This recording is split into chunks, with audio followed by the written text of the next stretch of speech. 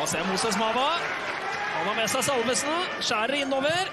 Ja, fin ball til Kristoffer Tokstad. Får tatt med seg